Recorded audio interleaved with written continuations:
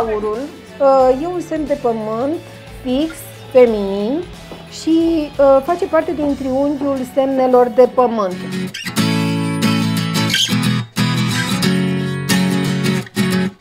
Se asortează foarte bine cu semnele de apă, cu racul, uh, cu scorpionul și cu peștii. Am văzut că cel mai bine se recrutează partenerul de cuplu din um, această zonă.